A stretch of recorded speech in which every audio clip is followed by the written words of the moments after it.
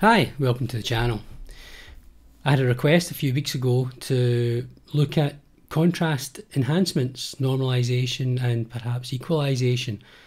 It's not something I've looked at in any detail uh, in previous videos and I thought well maybe maybe worthwhile to have a little bit of a closer look at image histograms and what are we actually doing when we enhance brightness and contrast I say to my students all the time if you are going to make comparisons of the brightness in comparative images, you really shouldn't be changing the brightness and contrast because it changes the numbers. Um, and I think we should just take a, a closer look at that. So, should we normalise? Should we equalise? Should we just let ImageJ do an auto enhance? That's what we're going to think about in this video.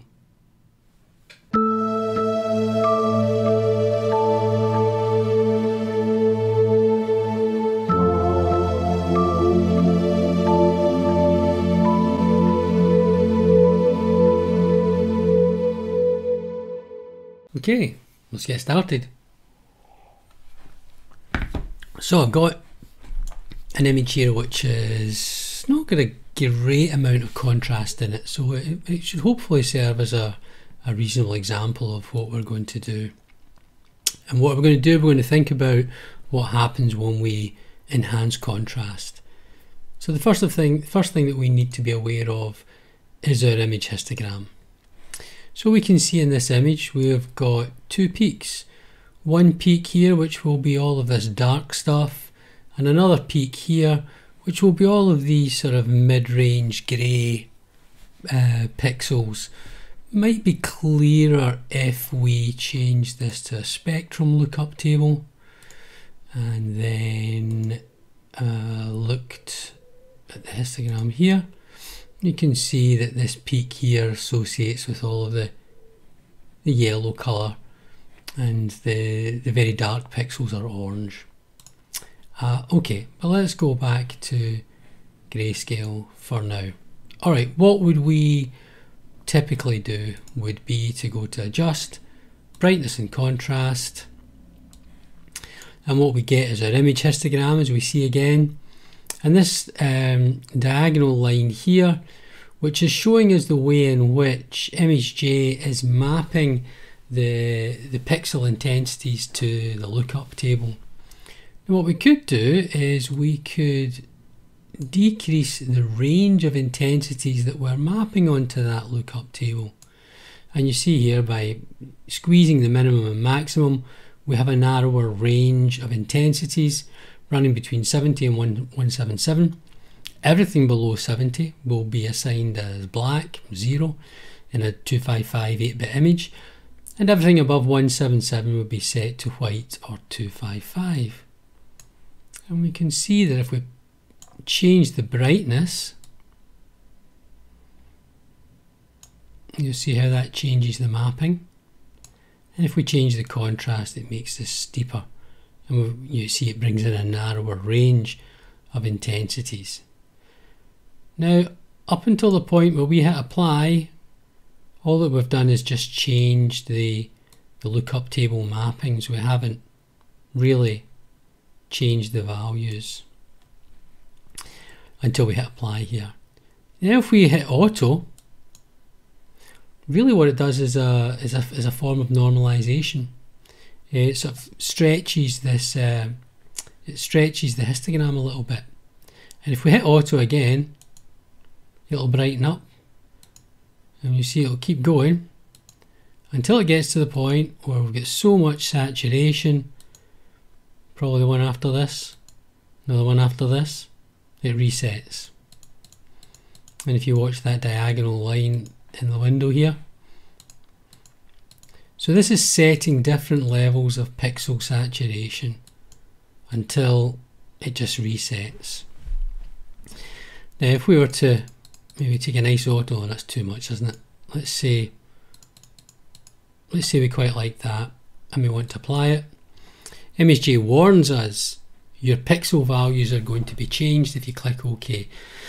So it's really important that we recognize this, that when we play around with the contrast, the brightness and contrast, we're changing the values in the image.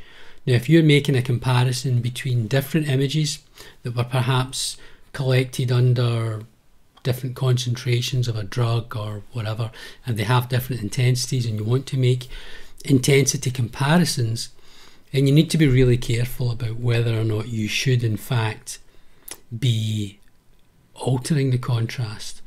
Probably best to um, probably best to just measure the the raw images.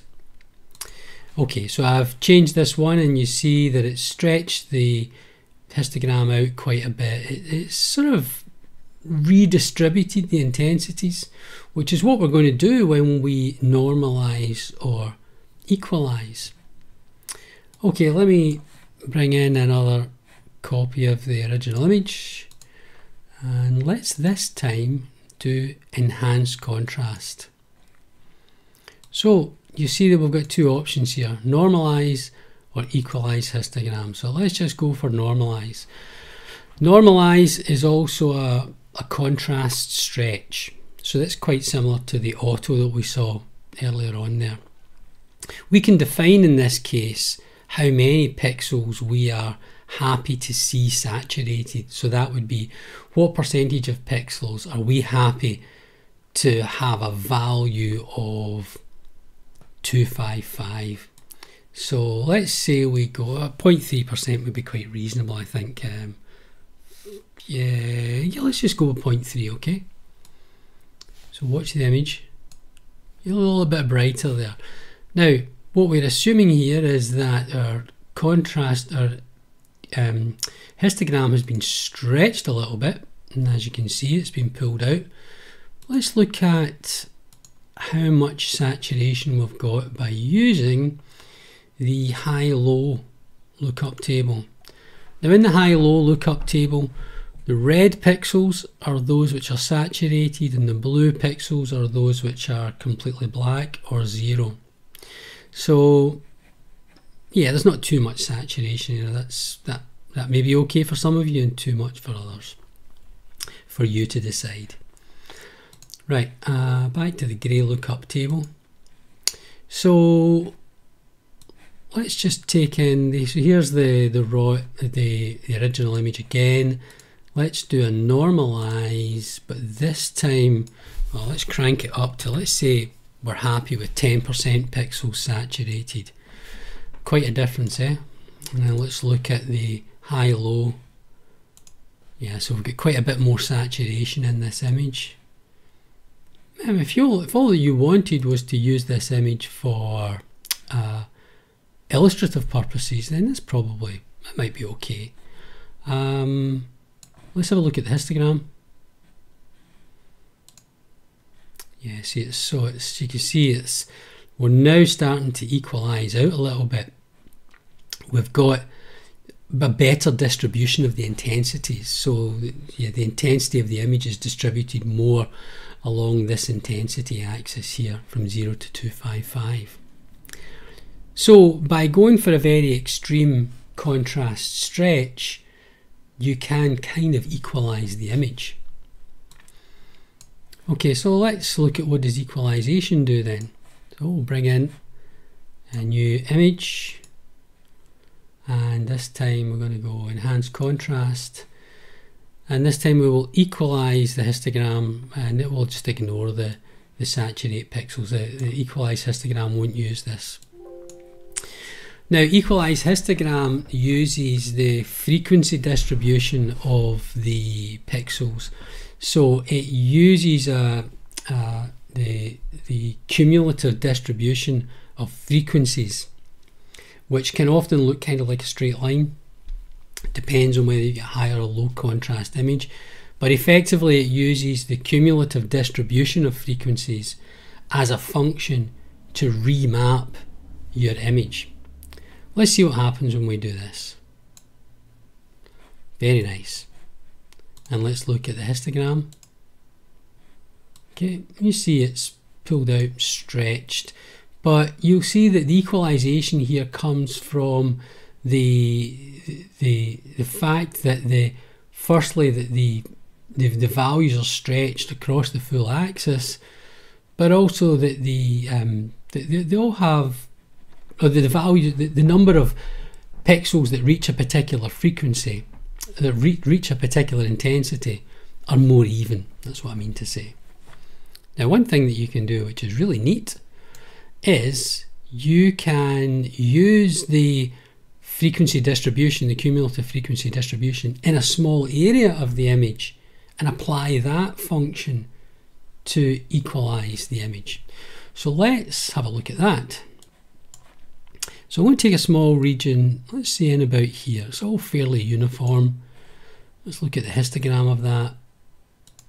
Yeah, a little narrow peak as you would expect. It's just all, all the values are pretty much around about 30, 40. If you look at the numbers up here, you know, 35, 44. So yeah, they're all kind of roughly similar.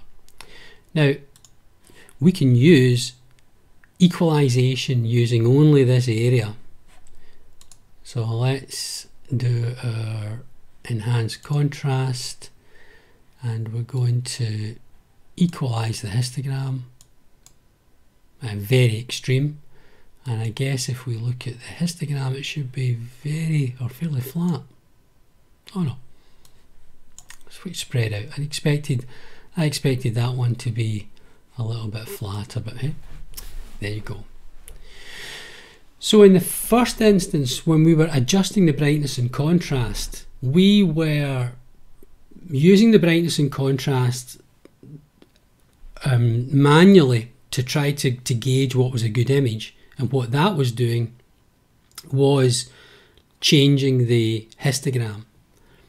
In the equalize function, we're using a different method to change the histogram, which gives us the, the, the, image. So we're using the histogram in order to define what's a good contrast, rather than just using our eyes to define what's a good contrast.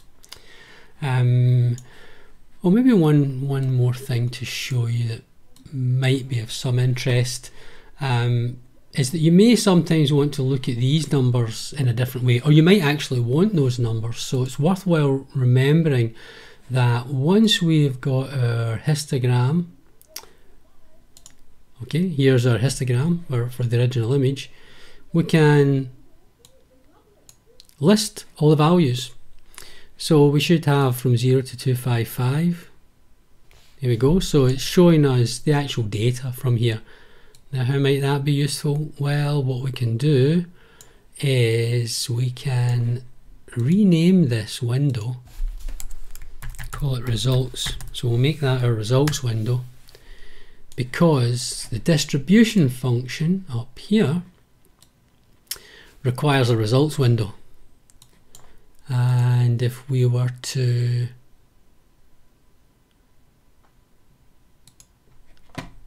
use the value so 0 to 255 and yeah 64 bins from 0 to 255 oh got it wrong. Should have been the count shouldn't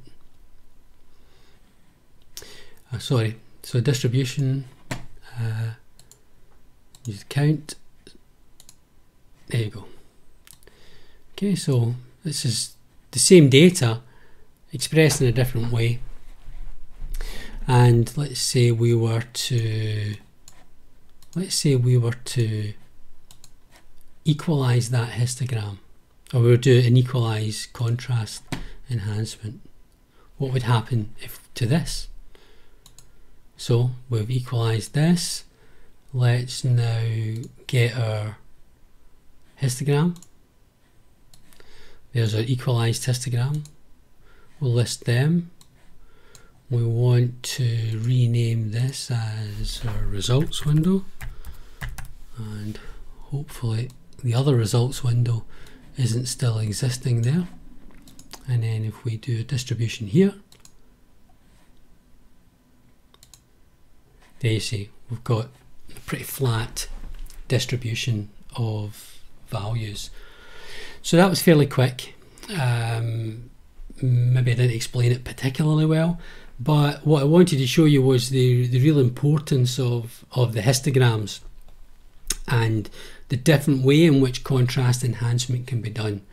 And hopefully that will alert you to the fact that you are drastically changing the numbers when you normalize or equalize images and hopefully that will help you to do a little bit of experimentation by yourself. Okay, And that one came from the request. So if you've got any more requests, keep them coming. See you next time.